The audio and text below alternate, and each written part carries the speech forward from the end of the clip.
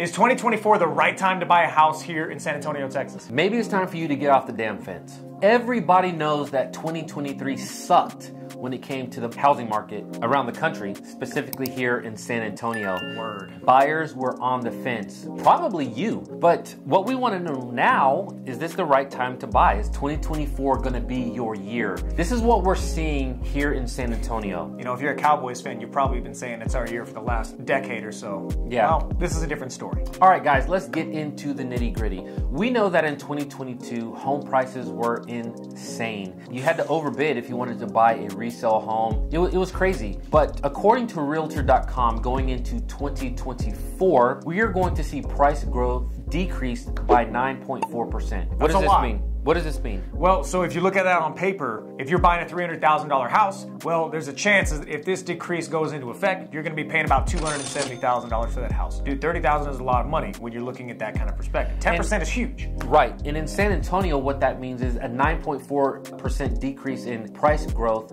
is going to put San Antonio in, in the market with the highest markets for anticipated declines. That's pretty big, man. That that is really big. I think if you're moving to San Antonio, that is going to be really, really good news for you. All right, so let's talk about some numbers for just a minute. When it comes to median sale price of a home in San Antonio, Texas, through last year, this is November timeframe, the median sale price was about $315,000. Now, this is down about 2% for the previous 11 months. And while on paper that might not seem like it's much, if you look at the graphs, that means that the prices were at the tippy top of the roller coaster, right? Now, while 2% might not actually seem like much on paper, this could mean that there are bigger price drops to follow in the coming months. Yes, and we are definitely seeing how this is affecting our buyers already. And this is just the end of January, right? 2024. We're already seeing how that's affecting some of our buyers. They are coming into the market and they're getting homes well under $315,000. Man, I didn't even think that was a thing that you could do anymore, especially in 2024. I remember that I thought I wouldn't see a house for sale under $300,000 ever since 2020, to be honest. Well, especially with new construction, right? Yeah. Of course, you can always find a home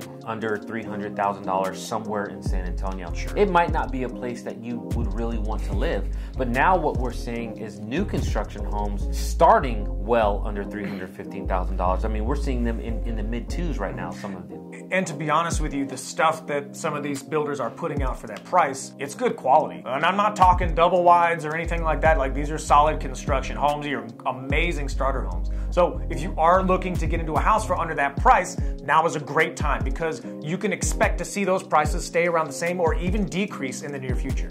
Just to kind of hit that point a little bit harder, new construction sales are up 38% right now, and I believe that that's going to continue here in 2024. Resale homes are down 24%. So more people are inclined to purchase new construction over resale. Now, right now, inventory in San Antonio is right around four months. And so that's that's not too bad, right? That's okay. But more people are leaning towards new construction versus resale. Yeah, and a lot of that also has to do with some of the interest rates and some of the incentives that these builders lenders are offering, man. For the longest time, you saw this increase in new construction just due to the fact that some of these builders were offering crazy things, man. They were offering things like an insane amount of money towards closing costs, no down payment, and then on top of that, they bought down the rate to mid 4%. In last year's economy, man, when you're looking at interest rates hovering around that 6 all the way up to 8, 4% is incredible. That's almost miraculous. Right. So just this month, we've helped buyers get into new construction homes, lock in their interest rate at 4.5%, even 4.25%. Those same builders not only locked in at those low interest rates, but they also threw in appliance packages. They still offer $16,000, $25,000 towards closing costs. So right now, these new construction incentives are still at a really, really high level. I believe that that's going to continue at least into the second quarter of 2024. We'll see how things shake out past that, but right now, looking pretty good. So, what does it all mean? What does it mean to you looking to enter the San Antonio real estate market here in 2024? What does it mean? So, if you are like many buyers in 2023 who's decided to pull back, sit on the fence to wait for things to shake out, this right now might be the sweet spot for you. I think that you are still going to be able to get into great new construction for you know really really good low interest rates great incentives i think that if you continue to wait on the fence through the end of 2024 going into 2025 to think that it's going to get any better you may see that sweet spot pass you by. So I think that right now is a great time to get into the market. We're seeing a lot of people take the leap. They're very, very happy. And again, if interest rates go even lower, then you can refinance and bring your mortgage down even more. But as far as incentives go, man, I think that right now is the perfect time. Here's the other half to that, okay?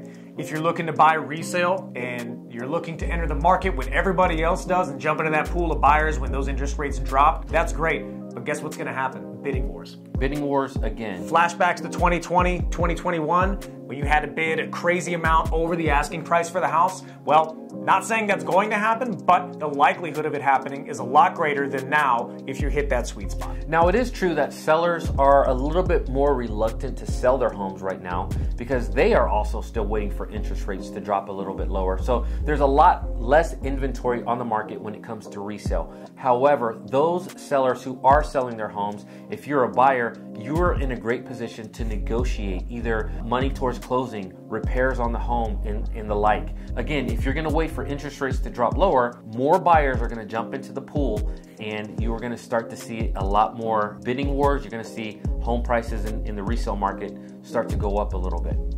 All right, guys, that was a super quick video. We hope that it kind of answered some of the questions that you're asking. We know that it's some of the questions that you're asking because we're getting those questions asked to us all the time. Make sure you hit that like and subscribe button. We do post videos every single week and you do not want to miss them. Before I end my piece, I want to apologize to those Cowboys fans I might have offended earlier. I am also one of those Cowboys fans 2024 is our year, baby. That being said, if you are planning on moving to San Antonio in the year 2024, don't hesitate to reach out to us. We would love that opportunity to help you and your family make that smooth move over to San Antonio. So, again, thank you so much for watching our stuff, guys. We look forward to seeing you in the next one.